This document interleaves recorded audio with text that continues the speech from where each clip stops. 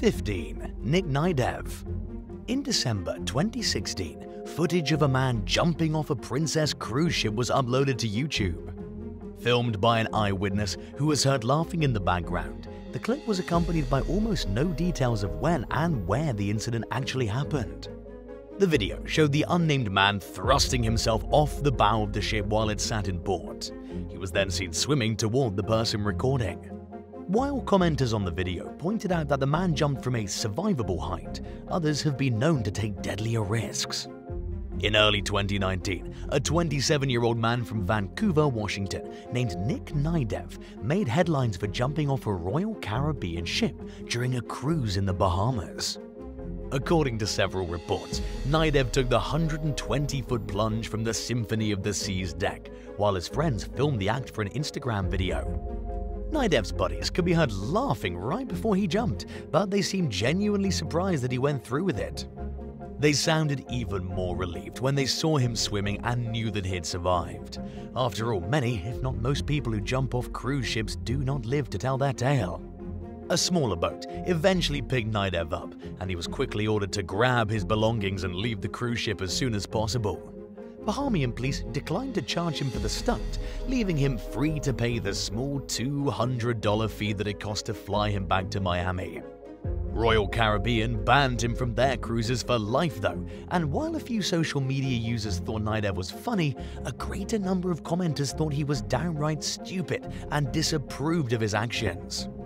But even after everything, it was still all fun and games to Naydev, who mentioned in a comment thread under the video that he was drunk from the night before when he took the plunge. He went on to say that once he sobered up, he was in severe pain. Naydev said he was hurting so badly that he was hardly able to walk or sleep for three days afterward. 14. Bin Tuzi People do a lot of crazy things for a bit of attention on social media, and sometimes the consequences are pretty substantial.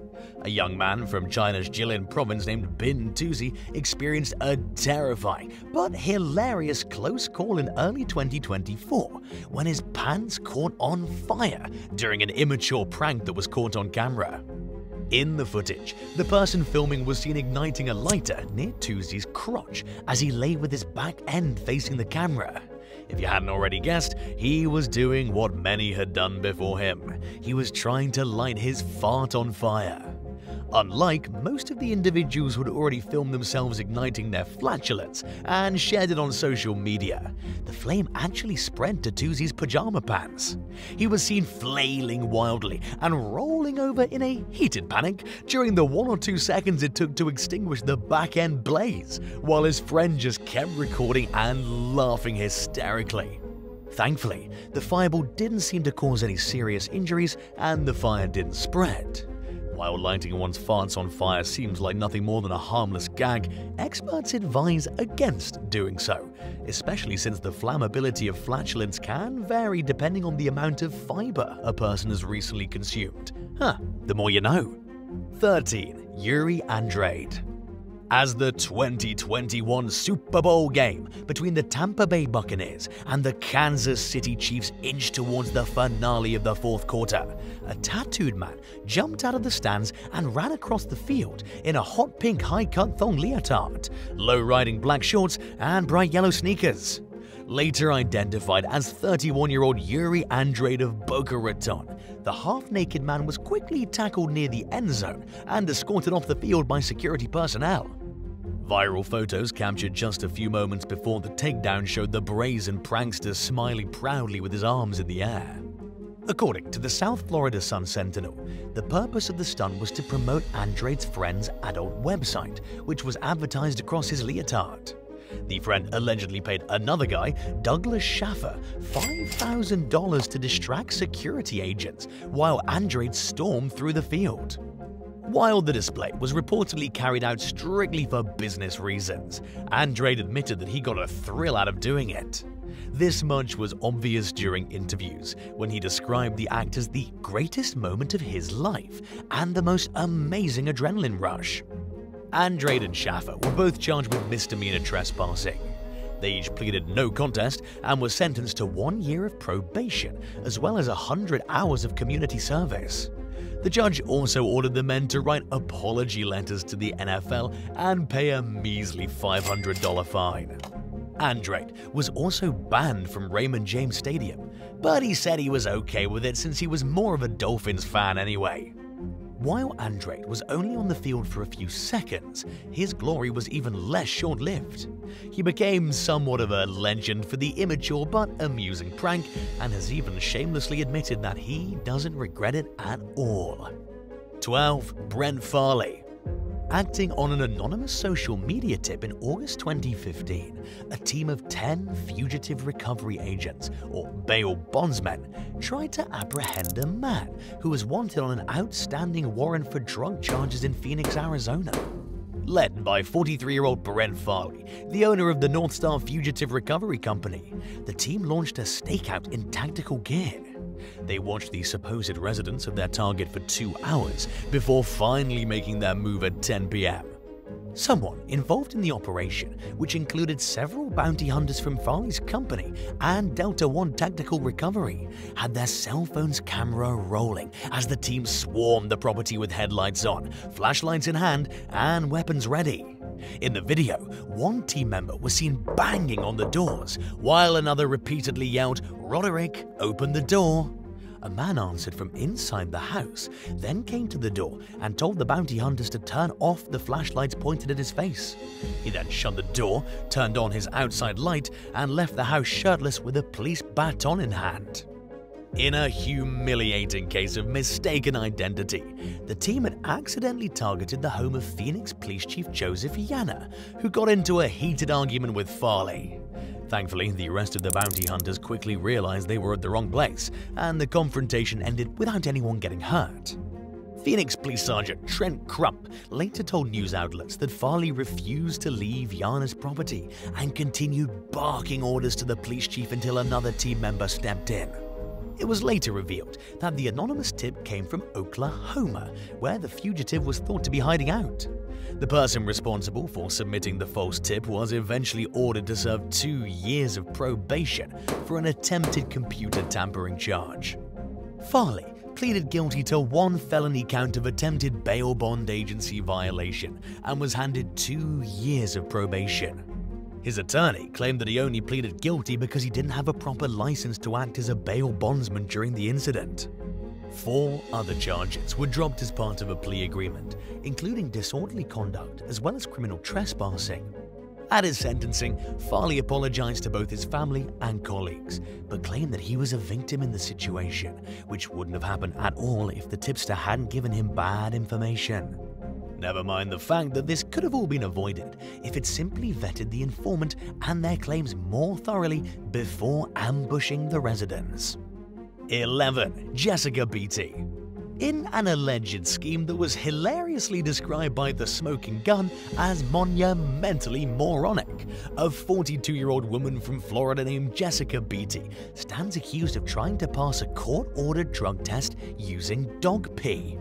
According to a police report, the Clearwater native had been released in December 2023 after being charged with drug paraphernalia and driving with a suspended license. As a contingency of her release, Beatty, who has a lengthy criminal history, including several cocaine-related convictions, was required to undergo random drug testing.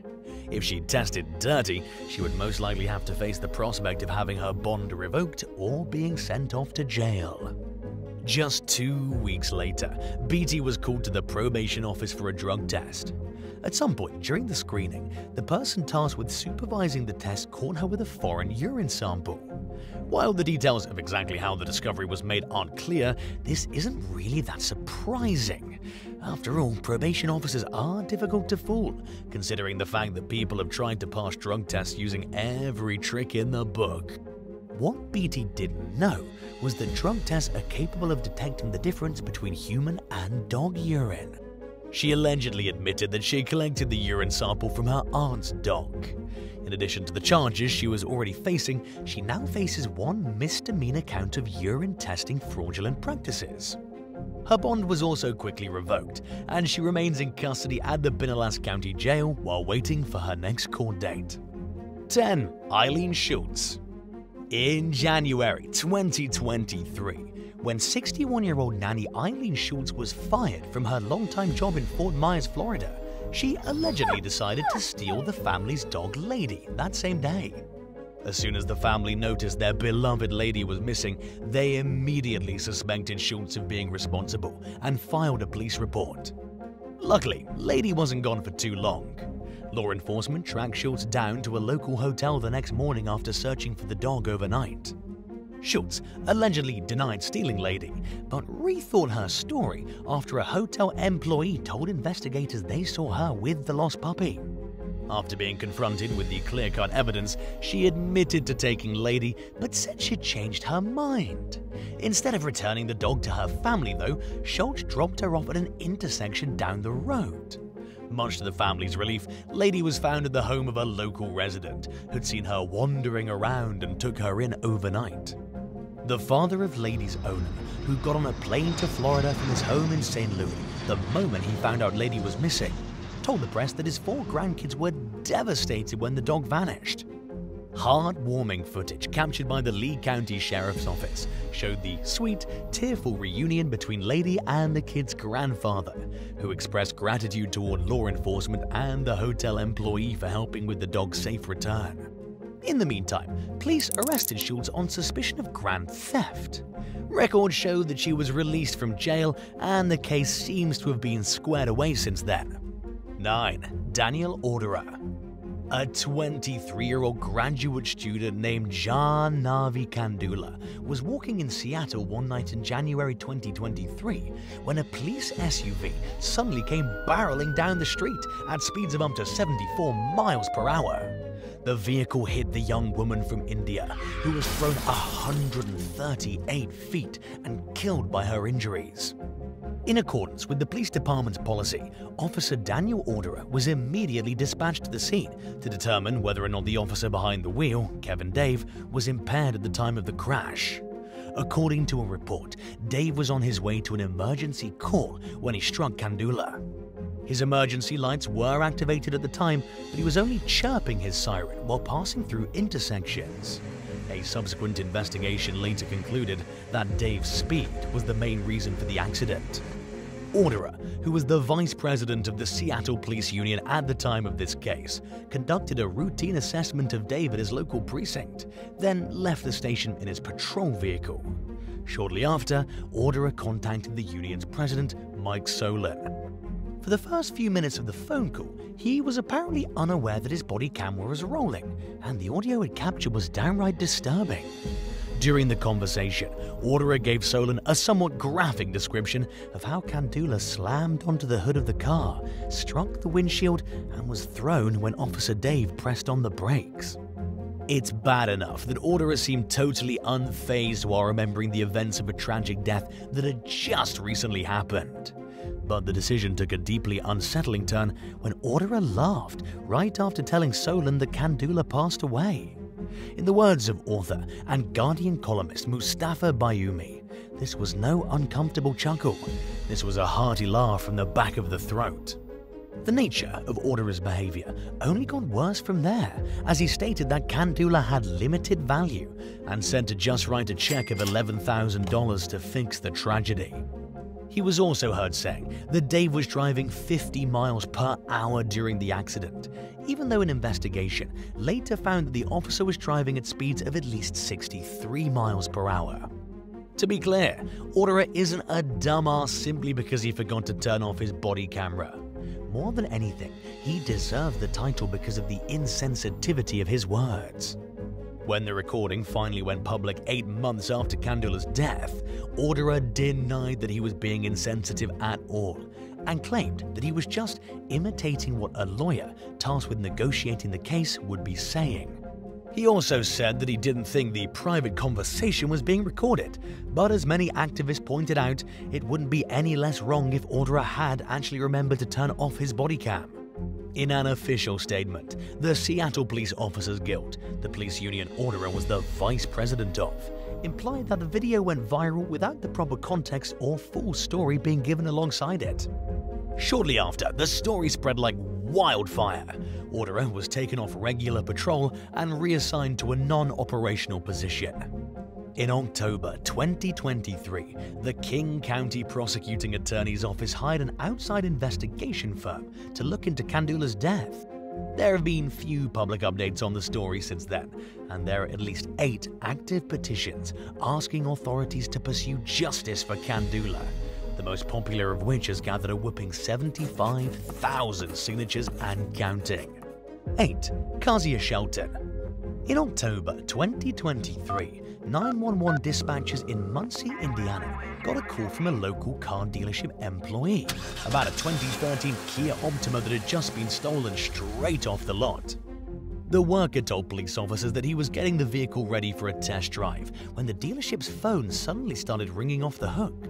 Nobody was even on the other end of the line the first time he answered, but when the phone rang again, he decided to pick it up just in case. He got out of the Kia to answer the phone, at which point the suspect, who was posing as a customer interested in purchasing the car, allegedly drove off. Using license plate recognition technology, it didn't take long for investigators to track the vehicle's movement to Indianapolis, over an hour's drive from the dealership, and back to Muncie. In the meantime, they identified the suspect as 20-year-old Kezia Shelton through an application she filled out to buy a car that she'd submitted to the dealership's website not long before the incident. According to the authorities, Shelton initially lied about her visit when police paid a visit to her house, but eventually confessed to stealing the Kia in order to drive to a job interview at a local strip club. She allegedly treated the situation as a huge joke and said she shouldn't be arrested because she returned the car by leaving it in a mall parking lot next to the dealership with the key still inside. Investigators said that Shelton claimed she didn't understand why she was being arrested since she no longer had the vehicle. But as most people with common sense know, it's against the law for someone to steal a car, regardless of whether or not they abandon it down the line. It's also illegal for a person to lie to the police about who they actually are. Shelton learned these lessons the hard way and was arrested on felony counts of both auto theft and identity deception. 7. Richard Lee Ortecho Jr. In early 2021, an Indian River County Sheriff's deputy spotted a car erratically weaving through traffic along Interstate 95 in Vero Beach, Florida. According to an arrest affidavit, radar clocked the driver cruising at speeds of up to 127 miles per hour in a 70 mile per hour zone. The suspect continued barreling along the highway at dangerously high speeds, even after the deputy turned on his lights and sirens to try and pull the vehicle over. Later identified as 21-year-old Richard Lee Ortecho Jr., the driver finally pulled to the side of the road after traffic forced him to slow down. After being handcuffed and read his Miranda rights, Hortensio reportedly apologized for going so fast and said he didn't realize reckless driving was illegal. When the deputy asked the young man why he was driving so fast, he explained that he was listening to a song called E Ciento Venti by a rapper named Track Insano, and in Hortensio's words, Ciento Venti means 120, so I was driving 120. He went on to claim that he didn't notice the deputy's lights and sirens flashing. When the deputy pointed out that it was dark at the time and that his lights should have been clearly visible from quite a distance, Ortecho allegedly blamed his loud music for his failure to notice he was being stopped. A young woman who was riding in the passenger seat of the car reportedly said that she told Ortecho to stop before he pulled over. Needless to say, Ortecho's explanations for his behavior did a poor job of persuading the deputy into letting him go. He was instantly taken into custody on suspicion of a felony fleeing charge, misdemeanor reckless driving, and two drug related possession charges, bringing his wild joyride to an abrupt end. 6. Daniel Schroeder Most people understand that you should only ever call 911 in the event of an emergency. But of course, there are a few exceptions to the norm. 61 year old Daniel Schroeder of Evansville, Indiana, fell into this category in September 2021 when he called 911 to report that he was upset with a female household member for not obeying his rules. He was then arrested for misuse of 911 and pleaded guilty to the charge. Schroeder was given a six month suspended jail sentence, which allowed him to walk free as long as he kept his promise to not bother emergency dispatchers with any more non emergency calls. He allegedly violated the agreement the next day by calling 911 four times to report that he was feeling tired. Authorities quickly revoked Schroeder's suspended sentence and charged him with another misdemeanor count of misusing 911, which he also pleaded guilty to. The judge overseeing the case amended his original sentence to 60 days in jail and imposed a concurrent 60-day sentence for the recent charge. At the time of the 911-related arrest, Schroeder was already on probation for driving drunk through a cemetery four months before. During this incident, a witness called the police, who observed at least four damaged tombstones after their arrival at the graveyard. By then, Schroeder had left the scene. Deputies later found him along a roadside by a public park where his car was parked halfway in the road and partly in the grass. His blood alcohol content tested at nearly three times the legal limit, and police also found synthetic drugs inside his truck. Schroeder pleaded guilty to operating a vehicle while intoxicated, possession of a controlled substance, and leaving the scene of an accident. His probation was revoked after his arrests for misusing 911, and the case seems to have been factored into the 60-day jail sentence he ended up serving for these crimes. 5. Anna Stanskovsky most people agree that getting someone's name tattooed on your face is a horrible and stupid idea. So, it was no surprise when a 27 year old British woman named Anna Stanskovsky received widespread outrage when she posted a TikTok video that seemed to show her getting her partner, Kevin's name, scrawled across her forehead in what she claimed was permanent ink. The video immediately went viral, garnering over 19 million views in only a few short days. Many social media users expressed the type of outrage one would expect to see when they believe a pretty young woman has permanently ruined her face, with some describing the tattoo as a disturbing and pathetic act of devotion to her boyfriend. After all, people do crazy things for love, but most would never even think of going as far as inking someone's name across their forehead. Other commenters responded to the footage with a reasonable dose of skepticism. Some of the more keen-eyed viewers noticed that the tattoo gun didn't have a needle in it, and that the young woman's skin wasn't showing signs of irritation, which would be expected after getting a tattoo. Many accused Stanskovsky of staging the TikTok in an attempt to increase her social media following. In a series of response videos, she insisted that the tattoo was real, saying in one clip, I know it's a little crazy, but I like to express my feelings, and I think if you really love someone, you should be able to show it off.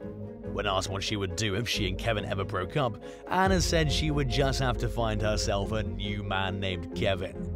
But a lot of people were still skeptical, and with good reason.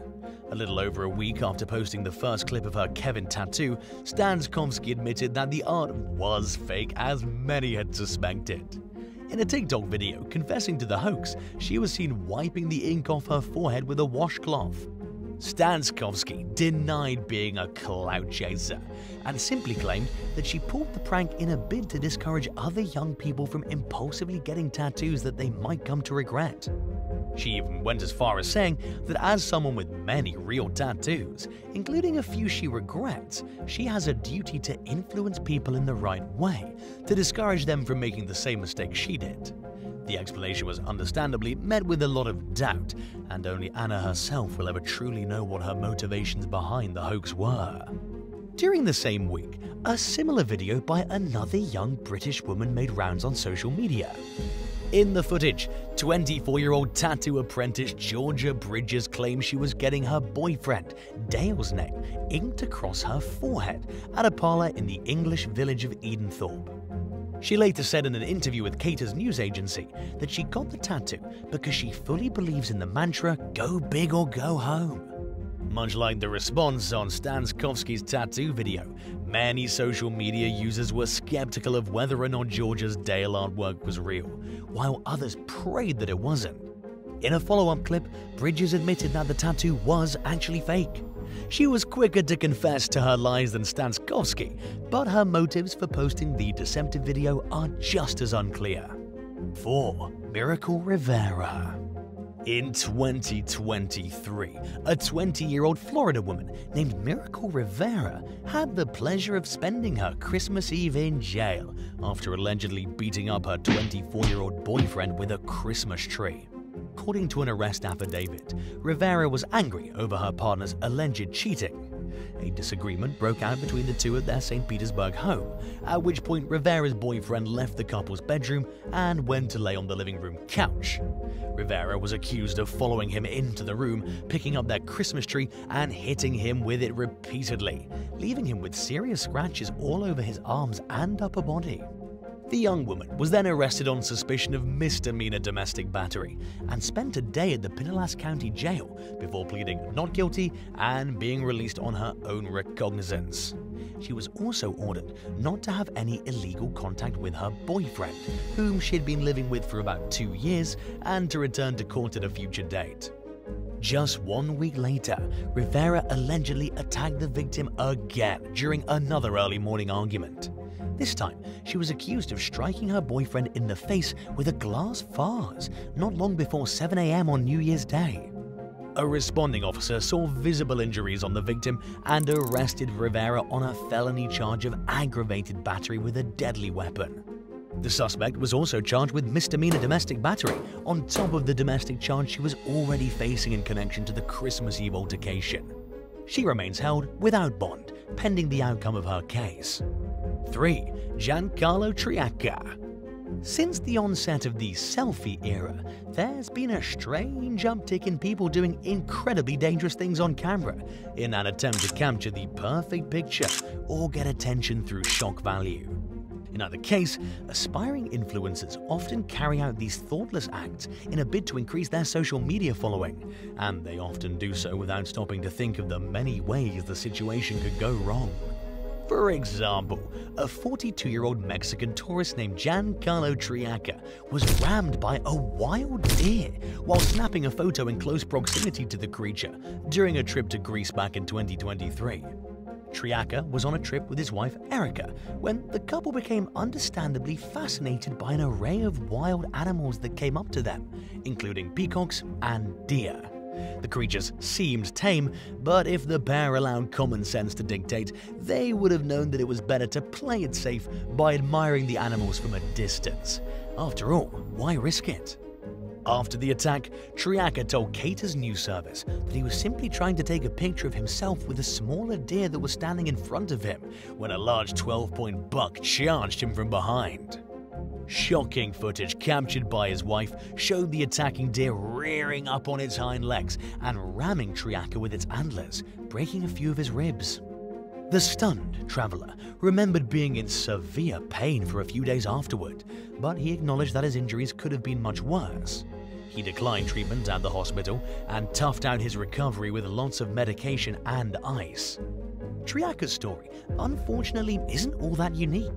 The rising number of selfie-related injuries coincides with a noticeable increase in tourists inching dangerously close to wild animals and getting attacked. Many people are so tired of seeing things like this happen that they think those on the receiving end of an animal's aggression deserve what comes to them, while others take a more forgiving stance. One thing everyone seems to agree on is that people should know better than to invade a dangerous wild animal space. 2. Entitled Traveler tries to chase down plane. Missing a flight is extremely stressful, so it's understandable that people sometimes grow slightly irrational in their attempts to catch a departing plane. But most know when to ease up and accept the fact that they have no choice but to rebook and deal with both the travel delay and extra ticket price. There are a few exceptions, of course, including one entitled woman in 2023 who was so desperate to not miss her flight one day that she ran past security and onto the tarmac as the plane taxied towards its runway. The incident happened at Australia's Canberra airport, where the woman was trying to catch a QantasLink flight to Adelaide. As she rushed under the jet, she waved her hands up towards the cockpit, hoping the crew would see her and let her board. Witnesses were shocked that the woman managed to get past security, but they were even more surprised that she thought the plane might actually stop and let her on. These thoughts were echoed by countless social media users who chimed in with their two cents after bystander footage of the incident went viral online. After noticing the crazed woman, the pilot cut the engine for her safety. She was then arrested by the Australian Federal Police and was lucky enough to avoid having her name plastered in news reports, thanks to Australia's privacy laws. And now for number one. But if you want to hear more bizarre and crazy stories, stay tuned after the video for some more content. 1. Michael Holland Known as the Yorkshire Ripper, Peter Sutcliffe killed at least 13 British women between 1975 and 1980. His crime sparked the UK's largest ever manhunt and one of the biggest law enforcement investigations in Britain's history. With as many as 200 cops under his command at any given time, a detective named Dick Holland was one of the top two leaders in the efforts made to identify and capture the serial killer, who was finally arrested in 1981 and sentenced to life in prison. Not everyone follows in their parents' footsteps, and that's okay. Dick Holland's son, Michael, chose not to pursue a career in law enforcement like his father and instead chose to become a gardener. He also allegedly did the exact opposite of his dad and took to a criminal lifestyle, which caught up with him in 2015 when he fell at the center of a police investigation into a suspected drug selling operation. Michael fell under suspicion when detectives in the Scottish city of Musselburgh saw him interacting with a suspect in the case named Stephen Wright, who was seen placing a suspicious black bag into the back of Holland's car. Police then pulled the vehicle over a short while later and found a gram of cocaine in Holland's possession. He claimed that he bought the drug to use as a numbing agent for a wobbly tooth since he was unable to make it to his dentist, whose office was 230 miles away. But Holland was not able to explain the nearly 2 kilograms of cocaine that officers discovered in the trunk of his car, which was divided into smaller bags for resale. Up to that point, Holland's criminal record was minor, and by the time the case went to trial in 2017, he was already 65 years old and in poor health. The elderly defendant was still found guilty of the charge. During Holland's sentencing, his attorneys depicted him as a beloved community member and argued that he was unlikely to reoffend thanks to his ailing physical health. They also claimed that their client was genuinely remorseful for his actions. Despite this, the judge sentenced Holland to serve four years in prison, showing that the authorities are unwilling to tolerate drug dealing and the devastating effects these substances have on Britain's communities. 16. Manuela Victoria de Araujo Farias Indonesia has some of the world's strictest drug laws, which can land someone on death row even for a non-violent offense. So it would be an understatement to say that it's a bad idea to try smuggling drugs into the country. A 19-year-old lingerie worker from Brazil named Manuela Victoria de Araujo Farias is learning this lesson the hard way after authorities discovered 3 kilos of cocaine in her suitcase at Bali International Airport. Farias had just arrived in Indonesia when the drugs were found in January 2023. The cocaine had gone undetected throughout the two flights she took to reach the island. She was promptly arrested for trafficking, despite her claims the gang members somehow tricked her into smuggling the contraband. If convicted, Farias could face execution by firing squad. Her lawyer, Davi Lira da Silva, told the Bali Times that his client traveled to Bali because she wanted to pray in Buddhist temples for the healing of her gravely ill mother, who had recently suffered a stroke. Police in Santa Catarina, Brazil, have reportedly declined to comment on their investigation of the alleged gang members who gave Farias the drugs. The arrest came shortly after a 52-year-old Australian surfer named Jeffrey Walton managed to avoid the death penalty for smuggling drugs into Indonesia. In lieu of a traditional punishment, he spent eight months at a rehab facility, which isn't a bad deal compared to the alternative. Unlike Farias, he was caught with a personal supply of drugs, which was a factor in the court's willingness to be lenient. The outcome of the young woman's case, however, remains to be seen. 15. Abigail Finney after falling asleep in her boyfriend's dorm room at Purdue University one day in 2017. 20 year old Abigail Finney awoke to what she thought was her partner trying to get frisky. She went along with it, only to realize afterward that she'd hooked up with her boyfriend's buddy. The room was dark, and Finney hadn't turned her head to look at him during the steamy session. She was understandably outraged and horrified after discovering that she'd just got it on with someone other than her boyfriend. The ordeal created some very confusing questions, including whether the act was consensual. Finney suddenly felt violated, so she and her boyfriend, Donald Grant Ward, went to the police. During questioning, Ward said that he truly believed Finney had mistakenly slept with his friend, thinking it was him. Assuming Ward's pal purposely deceived Finney, his actions were undoubtedly wrong from a moral standpoint. But the unusual scenario isn't considered a crime in most states, including Indiana, where the incident took place. Under the state's assault laws, the victim must be either compelled by force or unable to consent. Prosecutors nevertheless tried to argue the case in court, but a jury found Ward not guilty and he was acquitted of all the charges brought against him. The outcome came as a devastating blow to Finney, who said she struggled with anxiety and had to take time off from school while she dealt with the trauma of the ordeal. But until the state changes its definition of the crime that Ward was accused of, it's unlikely that cases like this will hold up in court.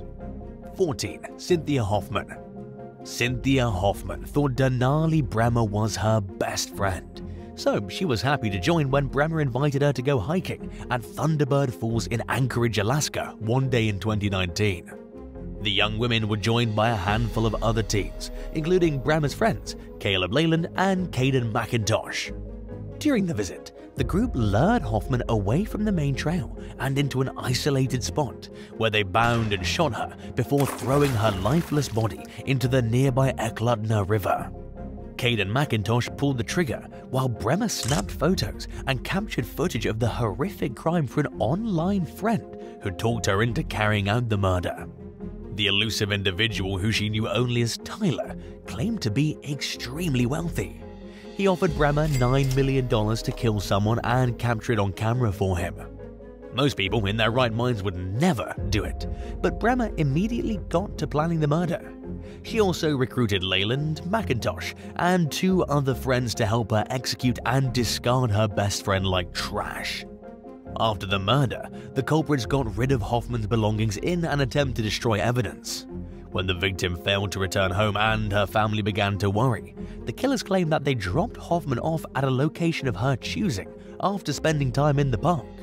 They said they hadn't heard from her since then and had no knowledge of her whereabouts. But they did a poor job of covering their tracks, and it was only a matter of days before they were in police custody on suspicion of murder. Authorities also identified Brehmer's online friend Tyler as 21-year-old man from Indiana named Darin Schilmiller and charged him as well. Brehmer pleaded guilty to first-degree murder in early 2023 she faces 30 to 99 years in prison and is scheduled to be sentenced in August. But the cases against McIntosh, Leyland, and Schilmiller are ongoing. 13. Deadly prank kills dictator's brother. Kim Jong Nam was the eldest son of the late Korean dictator Kim Jong il and the half brother of the Hermit Kingdom's current leader, Kim Jong un. For several years during the 1990s, he was considered next in line for the throne. But he was booted from the line of succession in 2001 after he was caught trying to enter Disneyland in Tokyo with a fake passport, which brought deep embarrassment to the regime. Kim Jong Nam was then exiled two years later and proceeded to live a mostly low key existence, minus his occasional outspoken criticism against the Kim dynasty. The Kims don't exactly have a good track record for tolerating even the slightest criticism, but to have negative statements from one of their own family members circulating in the international press was like an extra kick to the gut. It's believed that Kim Jong Nam survived at least one assassination attempt in 2006, and that his paranoid half brother orchestrated it in a bid to permanently silence him. Then, in February 2013, two women attacked Kim Jong Nam from behind with a deadly nerve agent called VX at the Kuala Lumpur International Airport in Malaysia. He was caught completely off guard, giving him no chance to avoid the poisoning. His condition almost immediately began to rapidly deteriorate, and Kim was unresponsive by the time he arrived in a nearby hospital. Unfortunately for the victim, efforts to save his life were unsuccessful. Authorities initially suspected that the women who ambushed Kim with the deadly toxin were knowingly working for North Korean agents, even though neither of them was from North Korea or had any traceable ties to the regime. Shortly after the poisoning, four North Korean suspects managed to slip out of the country without being interrogated, leaving Siti Aisyah and Doan Thi Huong behind to take full blame for the incident. The women claimed that they had no idea they were going to end up killing someone and that it certainly wasn't their intention. They told police that they were offered paid gigs on a hidden camera show and thought they were carrying out a harmless prank. And while this may seem like a clever excuse, all signs pointed toward the women being truthful. In what appeared to be an elaborate ruse to fool the suspects into unknowingly assassinating Kim, the show's so-called producers had filmed Aisyah and Huong performing multiple on-camera pranks in public places in the days leading up to the incident. It seemed to the women that they were filming a real TV show, and they had no reason to think that the people who hired them had sinister intentions. Aisyah and Huong were initially charged with the murder, but the criminal charges against the pair were eventually dropped. 12. Nicholas Billingham When 42-year-old Nicholas Billingham stopped showing up for work in October 2021, his boss, who also happened to be his neighbor, went looking for him at the home he shared with his longtime girlfriend in Northamptonshire, England. Billingham's girlfriend, schoolteacher Fiona Beale, answered the door looking visibly upset by something. She didn't want to talk at first, but later claimed that Billingham had cheated on her and moved in with another woman. Because the man had a history of being unfaithful, the neighbor took Beale's explanation at face value.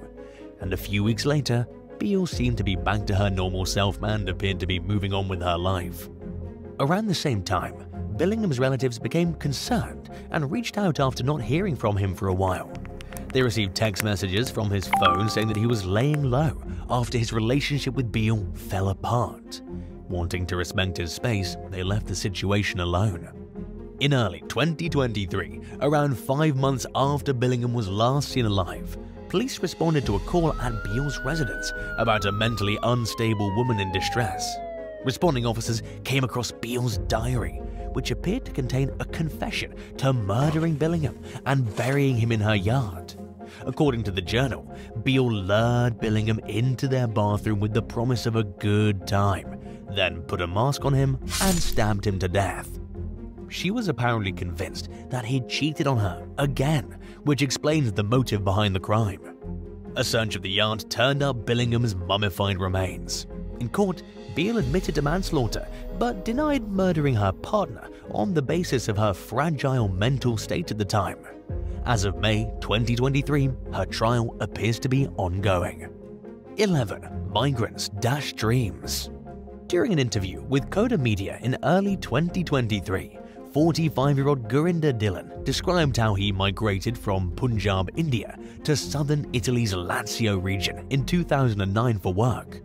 An agent he met in his home village had promised a better life, including high enough pay to support his family back in India, a house, nice clothing, and other trappings of a middle-class European lifestyle. But as you've likely already guessed, Dhillon bought a false dream. Using a $16,000 loan, he paid the agent to arrange his visa and travel, which realistically only cost around $2,000, amounting to an enormous profit for the recruiter. Dhillon expected to work at a farm in an area called the Pontine Marshes picking fruit and vegetables. And while that part was true, the working and living conditions he was subjected to were much different than promised.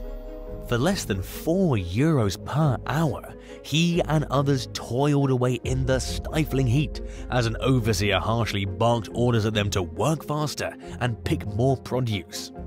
As the temperature crept into the triple digits on his first day of work, Dhillon had to stop at least once to wring the sweat out of his drenched socks. He later told Coda journalist Isobel Cockerell that he quickly realized he'd been duped into signing up for a job that he said wasn't far removed from forced labor. When he asked an experienced co-worker if it would be like this forever, the colleague answered yes. The tradition of recruiting workers to the Pontine marshes from other countries dates back to the Mussolini era. Under the dictator's leadership, laborers transformed the once swampy marshland into a vast tract of farmable soil.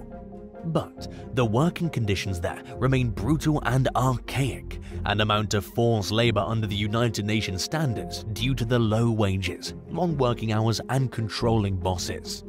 Some are paid almost no money, with at least one person being told that three months' worth of his wages were put toward taxes. When he looked further into the matter, he discovered it was a lie. His taxes hadn't been paid, and had unknowingly worked for free.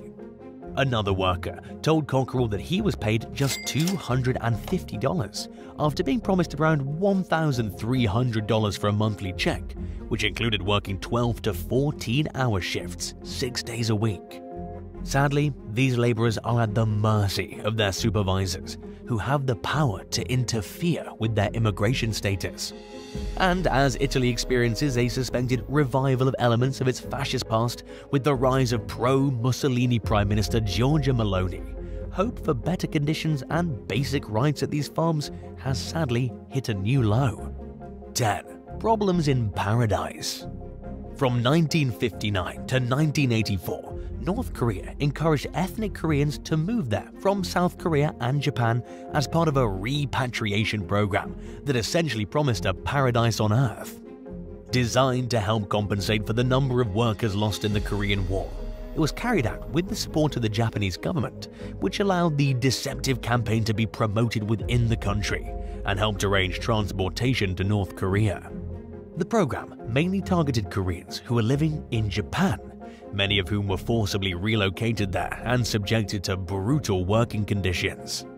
Lured by the prospect of jobs, education, free healthcare, and other benefits, around 93,000 people took advantage of the opportunity, only to discover that life in North Korea was nothing like it was cracked up to be. In addition to being assigned low-paying manual labor jobs, enduring egregious human rights violations, and being afforded little freedom, they unfortunately learned that leaving the country wasn't as easy as entering, and that the only way to do it was to escape the oppressive regime. People who are caught trying to escape North Korea are typically shot on sight, executed at a later date, or imprisoned at one of the regime's brutal labor camps, where they're essentially worked and starved to the brink of death. To deter citizens from trying to flee, North Korea authorities similarly punished the extended relatives and multiple generations of a family, even if they had nothing to do with a person's escape or attempted escape. In 2018, five of the estimated 150 people who managed to leave North Korea after entering the repatriation program filed a lawsuit in a Japanese court, accusing Pyongyang of illegal solicitation and detainment. They requested several hundred thousand dollars each in compensation, but their hopes were dashed in early 2023 when the court shot down the claims. Because the litigants entered the program between 1960 and 1972, their complaints had surpassed the 20-year statute of limitations. Moreover, the judge overseeing the case ruled that the Japanese court has no jurisdiction over the escapees' detainment in North Korea.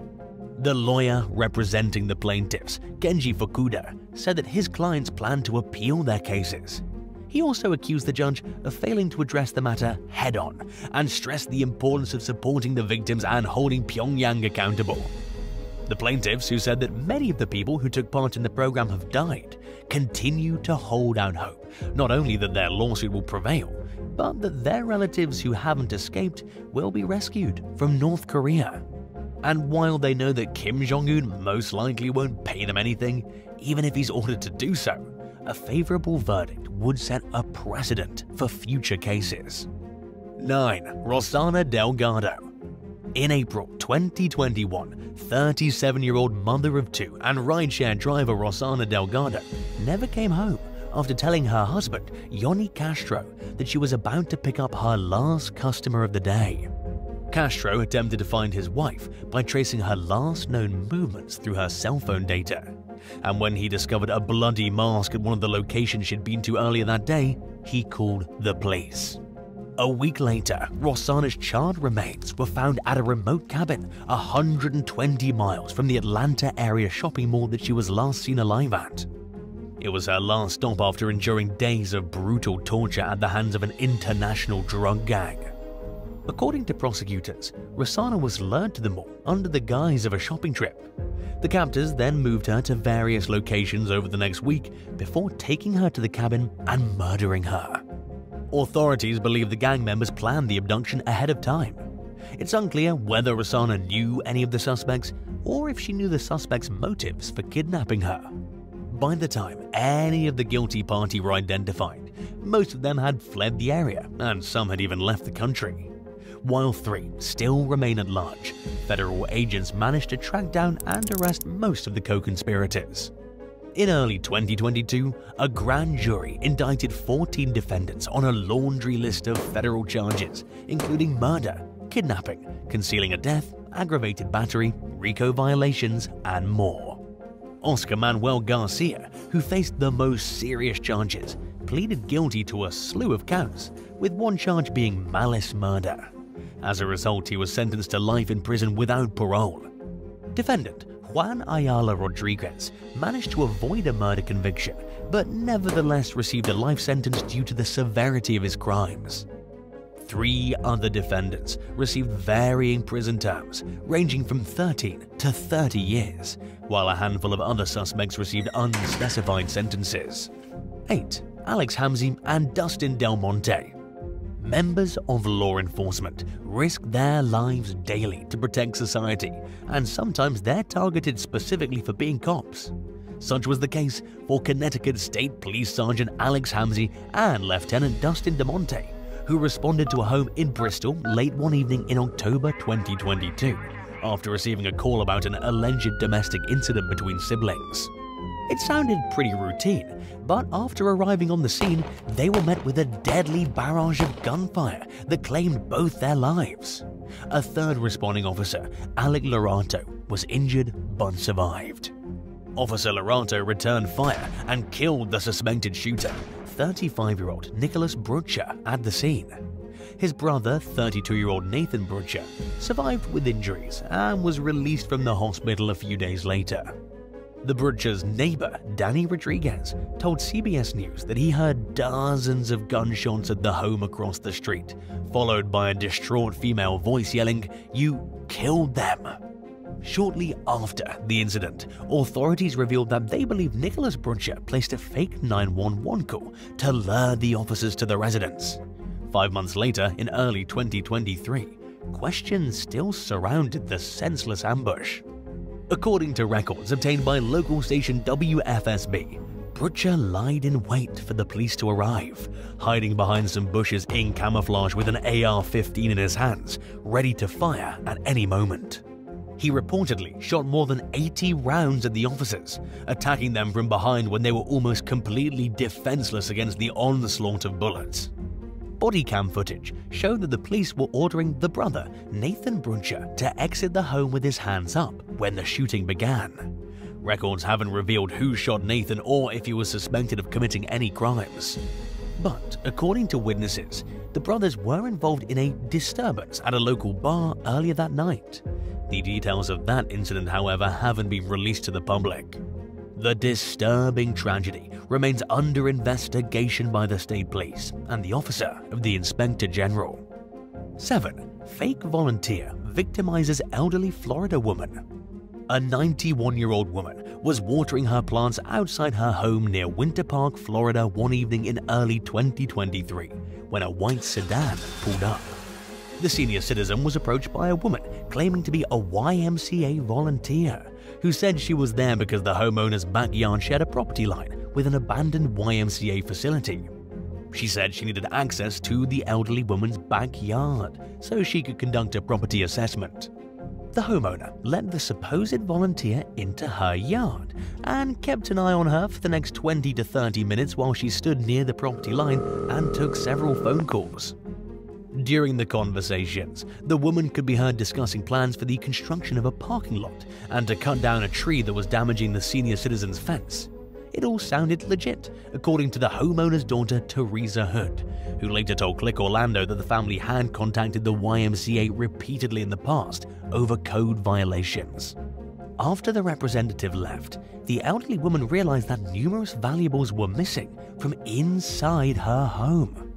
Other valuable items were left untouched, causing Seminole County deputies to initially wonder if she'd simply misplaced the things that were missing. But a thorough search of the home turned up no sign of the belongings, and they ultimately concluded that the volunteer was a fake who lured the victim into her backyard so someone else could carry out the robbery unnoticed. A YMCA spokesperson told law enforcement that they hadn't sent a representative to the woman's home and that they planned to sell and demolish the property. Authorities said they were investigating the crime in hopes of identifying and arresting the suspects on burglary and grand theft charges. But at the moment, it's unclear whether the thieves are still at large. 6. Pensioner kidnapped in Perth in early 2023, a 68 year old retiree from China traveled to Australia to discuss a potential business opportunity with a 29 year old man. He flew into Melbourne, where he met with his prospective partner, and the pair proceeded to fly to Western Australia together. From there, they drove to a house in Perth. But instead of entering a business agreement, like the man from China expected, he was held captive and tortured by the younger man and two accomplices, who were waiting at the home when they arrived. The kidnappers called the victim's relatives and demanded ransom payments in exchange for his release. But instead, the man's family contacted law enforcement. Police tracked the man's location to a short-term rental unit and bashed the door in, and after two days of enduring horrifying treatment, he was finally safe. Afterward, the victim was taken to the hospital with multiple injuries. In addition to the 29-year-old suspect, two men aged 31 and 37 were arrested in connection with the alleged extortion plan. They remain in custody amid their ongoing cases, and their identities remain concealed for the time being in accordance with Australian law. 5. Alexander Litvinenko While working for Russia's Federal Security Service in the late 1990s, Alexander Litvinenko spoke out against acts of corruption that he claimed to have witnessed firsthand. He publicly accused high-ranking law enforcement officials of having ties to organized crime groups, plotting the assassination of a wealthy oligarch, and ordering him to kill government spies. After realizing there was no way to escape the crookedness of the Russian state as long as he remained in the country, especially as a government employee, Litvinenko packed up his family in 2000 and fled to London, where they were granted asylum. Over the next handful of years, he became even more outspoken against corruption, writing two books filled with scathing allegations against Moscow. In October 2006, Litvinenko accused Vladimir Putin of ordering the assassination of journalist Anna Politkovskaya, who was murdered at her apartment building after she refused orders to stop reporting on topics that the Russian government disapproved of. Of course, the country's officials denied any involvement in the crime, which remains unsolved to this day. But many people believe that state officials had something to do with it, since they had reasons for wanting to permanently silence Politkovskaya. Litvinenko could have taken the murder as a sign to perhaps tone down his own activism for a while, but he remained as vocal as ever. Less than a month after Politkovskaya's death, and roughly a week before he was slated to testify about clandestine Russian activities in front of a Spanish court, he met with former KGB agents Andrei Lugovoy and Dmitry Kovtun at a hotel in London for tea. He suddenly fell seriously ill shortly afterward, and his condition deteriorated rapidly. Two days later, Litvinenko was checked into intensive care. Doctors were powerless to help him as they struggled to figure out what was even wrong with him. All his hair started to fall out, he was vomiting violently and suffering from explosive diarrhea, and his mouth became filled with blisters. Soon enough, his organs began to shut down. With Litvinenko's help, doctors eventually discovered that he was completely riddled with an extremely toxic and highly radioactive chemical called polonium. During the meeting with the KGB agents, he unknowingly drank poisoned tea at the urging of his hosts. It was cold, so Litvinenko only took a few sips out of politeness, but that was all it took to fatally poison him. Law enforcement then discovered terrifyingly high amounts of polonium in the sink drain of Lugovoy and Kovtun's hotel room. Litvinenko accused Vladimir Putin of directly ordering the hit, while his wife similarly suggested that Moscow orchestrated the assassination. British authorities seem to agree, with one Scotland Yard official saying that the only credible explanation for the poisoning is that Russian officials were involved in one way or another. After languishing in agony for 22 days, Litvinenko passed away, and he was buried in a lead coffin to prevent radiation from leaking out of it. 4. Grindr robberies.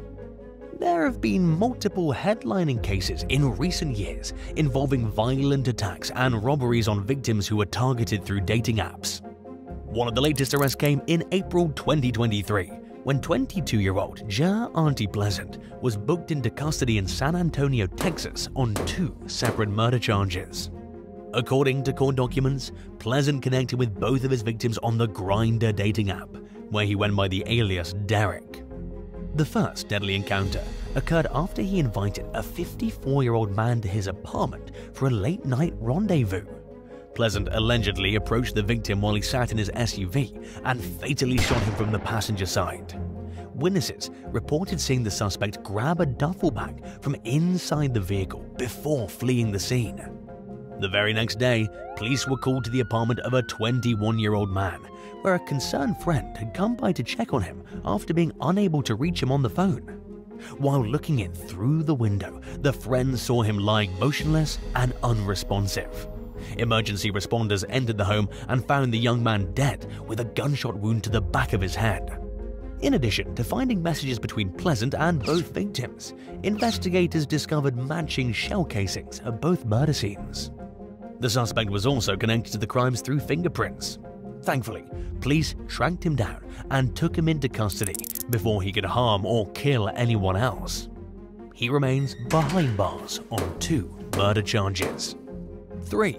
International Hostage Trap Tempted by the prospect of a job opportunity, a 19-year-old man from Alamo, Texas entered Mexico on foot in June of 2021 in hopes of making some money a man he presumably didn't know very well, later identified as 26-year-old Sixto Gonzalez Jr., had offered him the job and promised to pick him up once he crossed the border. But instead of taking him to a worksite, the stranger drove the teen to a house in the city of Reynosa, where he and several co-conspirators held the young man hostage. Gonzalez and his accomplices contacted the victim's family, demanding a $5,000 ransom and a gun in exchange for his safe return. When the family couldn't afford the ransom and failed to pay it, the gang sent them a dreadful video of the victim being beaten so hard with a wooden board that it broke. Two days into the ordeal, law enforcement managed to locate the house and carried out a search. Beneath a blanket, they found the victim covered in bruises and bound with zip ties. Police also captured Gonzalez, and in a satisfying turn of events, he was taken into custody while the hostage got his freedom back. Gonzalez reportedly confessed to the abduction during questioning. He spent the next two years in federal custody while he faced charges in connection with the incident, and he might as well get comfortable because he likely won't be seeing freedom again for at least a handful of years. In 2023, Gonzalez pleaded guilty to hostage taking. The charge carries a sentence of up to life in prison and a fine of up to $250,000. The defendant is scheduled to be sentenced in August of 2023. 2. Deathbed confession leads to missing Florida man. In May of 2014, a Florida businessman with a checkered past named Donald Shoff vanished seemingly into thin air. His brother-in-law, James Stote, told Shoff's mother and his wife, as well as Shoff's sister, that he'd fled the country on his boat with a large amount of cash. Stote claimed that Shoff was living in Colombia under an alias, and his wife Dara and mother-in-law initially believed it, given Shoff's shady history. Every once in a while, Stote told the family that he'd run into Shoff during one of his quick and highly secretive stops back in the United States. About a year later, Dara discovered that her husband had taken over her brother's identity and was allegedly siphoning his bank accounts. As it turned out, Shoff had been working to keep his life on the straight and narrow. His business was apparently doing well, and he'd built up a considerable amount of assets as a real estate investor. Suspicious that Stote was lying about Shoff being alive and well, Dara filed for divorce and went to the FBI.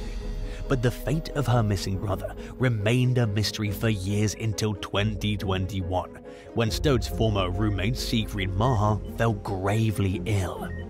In a shocking deathbed confession that nobody saw coming, Maha called a former cop he was acquainted with and revealed that Shoff had been murdered around the time he disappeared in 2014. He went on to accuse another one of Shoff's sisters, 64-year-old Darlene Ann Shoff Brock, of shooting her brother in the back of the head. Maha drew a map directing authorities to Shoff's remains, which were buried on one of his own properties in Dania Beach. While awaiting DNA test results to confirm the identity of the body, investigators questioned Darlene, who stuck to the claim that her brother had left the country years earlier. But she quickly lawyered up and stopped cooperating. Law enforcement also spoke with Stote, who reportedly gave detectives a first-hand account of what happened on the night of the murder. His version of events corroborated with the details of his former roommate's deathbed confession, and the DNA findings confirmed that the remains belonged to Shoff. In the end, Darlene was charged with first-degree murder.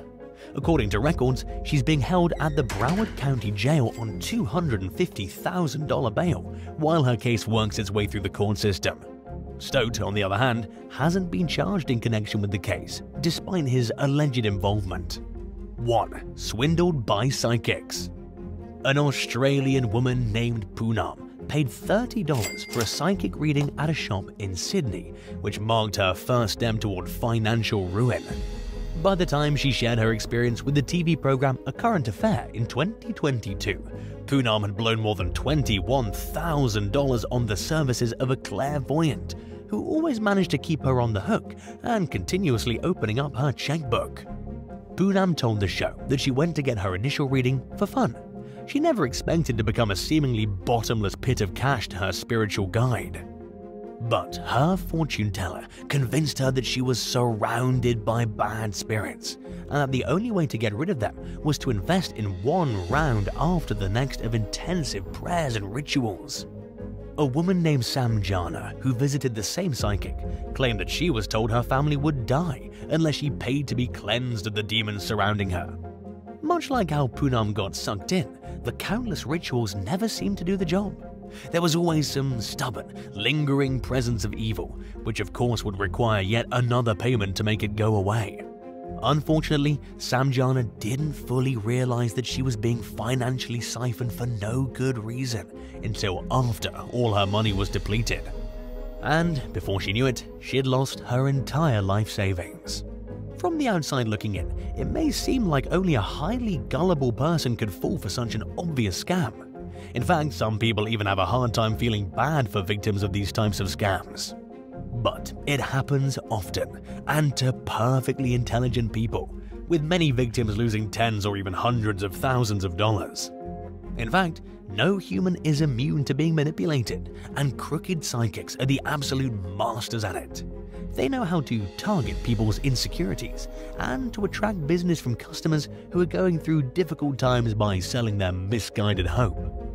In recent years, the number of Australians being swindled by greedy fortune tellers has reportedly skyrocketed, causing deepening concerns among the country's scam watchdog groups as customers desperate for guidance and answers are bled completely dry.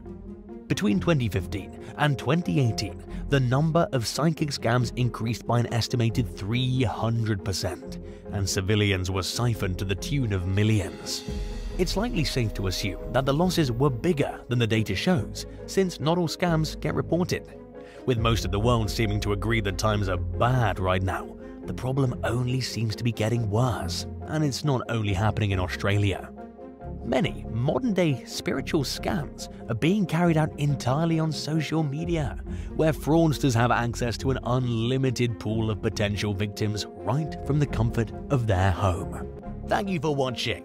If you had to choose, would you feel more sympathetic towards someone who was injured after jumping off a cruise ship or someone who was attacked by a wild animal while trying to take a selfie with it? Let us know in the comments below and be sure to subscribe.